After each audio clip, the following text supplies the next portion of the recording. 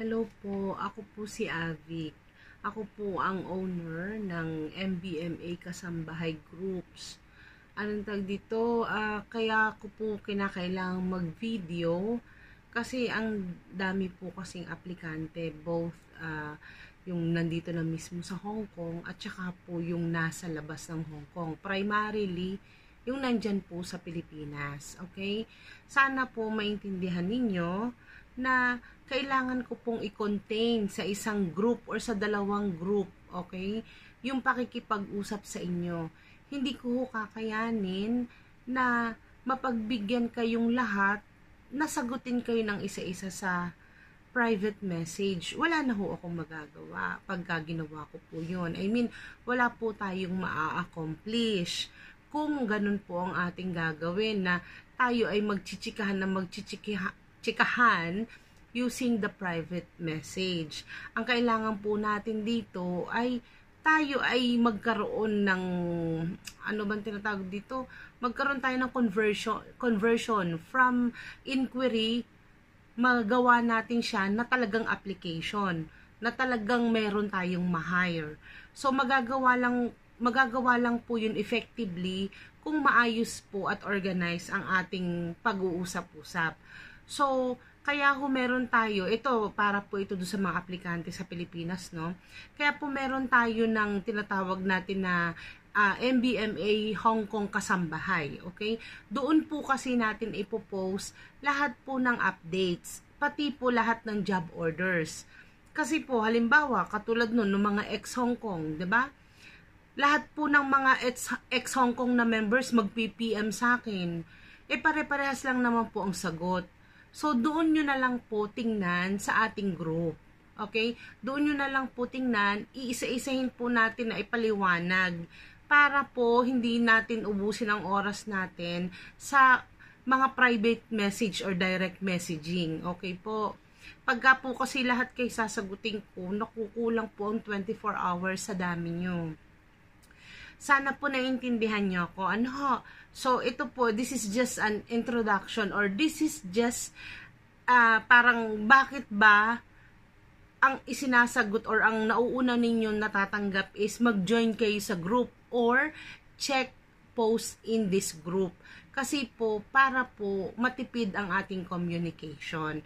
Now, kung meron po kayong mga halimbawa, ganito ho yun, no? So, dyan kayo kukuha ng update. Dyan dyan ninyo i-browse kung ano po yung mga tungkol sa tanong nyo dahil sigurado po na ipopost ko po diyan. Okay po. Ngayon, uh, once na makita ninyo na kayo pala ay hindi naman po pwede dahil kayo ay 50 anyos na, 'di ba? So para pong tulong nyo na sa mga sa mga kasambahay po na na qualified na mag-apply po sa Hong Kong ngayon. Tulong nyo na po yun sa kanila para po sila ay maasikaso namin ng maayos. Hindi po tayo nagdi-discriminate ng kahit sino. Ang atin lang hong punto dito, okay, is yung atin pong maserbisyuhan yung talagang may chance.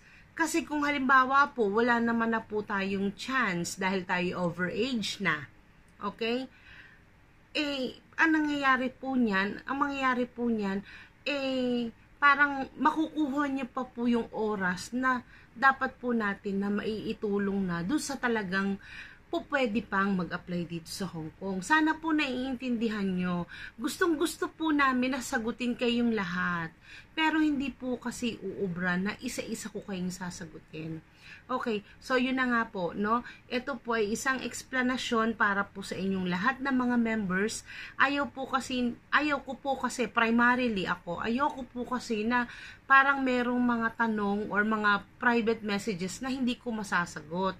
Kaya lang nga po, yun nga, it will, it will just eat my time kung iisa-isahin ko po kayong sasagutin.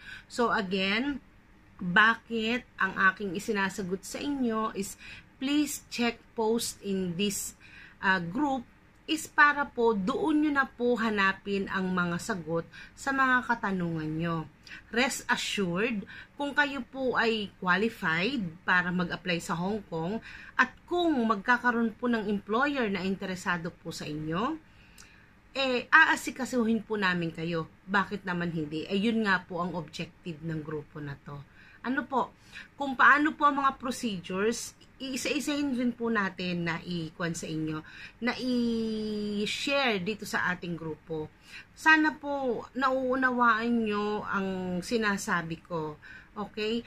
Sa lahat po ng mga gustong mag-inquire, okay?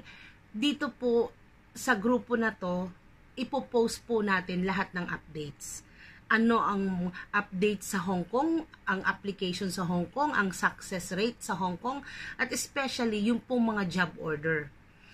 Doon po sa mga existing job order, mag-comment po kayo under that para po mak ma-check ko po ang inyong profile kung kayo po ba'y suitable talaga do sa employer na yon. Rest assured kung suitable kayo, ibibigay namin sa employer ang profile ninyo at tingnan natin kung magugustuhan nila. Ganun na lang po muna. Ito pong video na to is para po ipaliwanag sa inyo why I needed you to join this group.